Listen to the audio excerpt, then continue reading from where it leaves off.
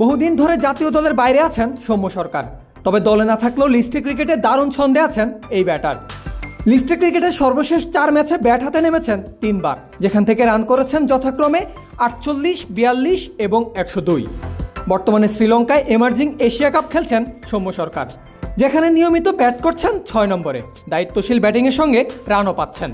সব মিলিয়ে আসন্ন এশিয়া কাপ কিংবা বিশ্বকাপ স্কোয়াডে যদি সৌম্যর নাম দেখা যায় তাহলেও হয়তো অবাক হওয়ার কিছুই থাকবে না। এছাড়াও দুই হাজার চোদ্দ সালে অভিষেকের পর থেকে এখন পর্যন্ত আইসিসির টুর্নামেন্টে অপরাজিত আছেন সৌম্য সরকার।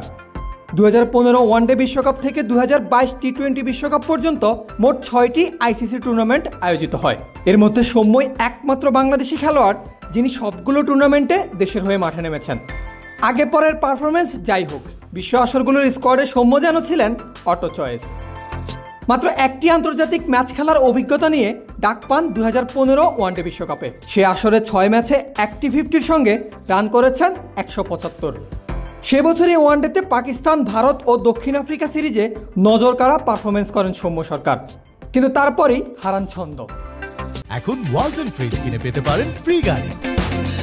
রয়েছে লক্ষ লক্ষ উপহার।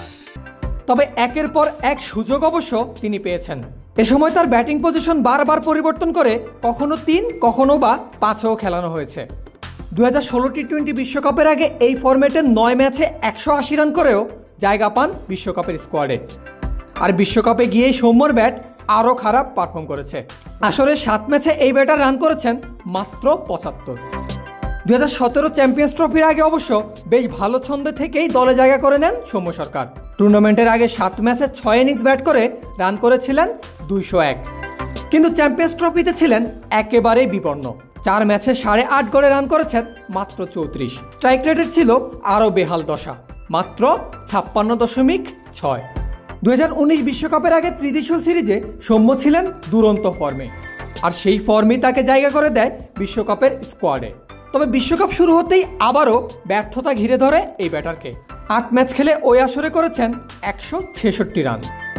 এরপর দুই হাজার একুশ সালে ঘরের মাঠে ঐতিহাসিক অস্ট্রেলিয়া সিরিজে চরম ব্যর্থ সৌম্য ডাক পান টি টোয়েন্টি বিশ্বকাপে, যেখানে চার ম্যাচে তিনি করেছেন মাত্র সাতাশ রান।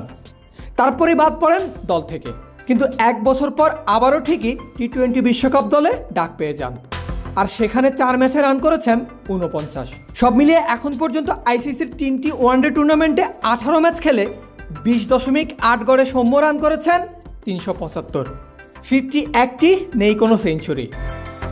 আর সমান তিনটি টি টোয়েন্টি বিশ্বকাপে পনেরো ম্যাচ খেলে দশ গড়ে করেছেন মাত্র একশো একান্ন রান। বিশ্বমঞ্চে এমন ধারাবাহিক ব্যর্থতার পরেও সৌম্যকে এক্সপেক্টর হিসাবেই দেখে এসেছে টিম ম্যানেজমেন্ট আর সেই ভরসা থেকেই এই ব্যাটার বারবার ডাক পেয়েছেন স্কোয়াডে আগামী অক্টোবরে প্রতিবেশী দেশে বসতে যাওয়া বিশ্বকাপেও সৌম্যের ওপর ম্যানেজমেন্টের সেই ভরসা থাকে কি না সেটাই এখন দেখার বিষয়।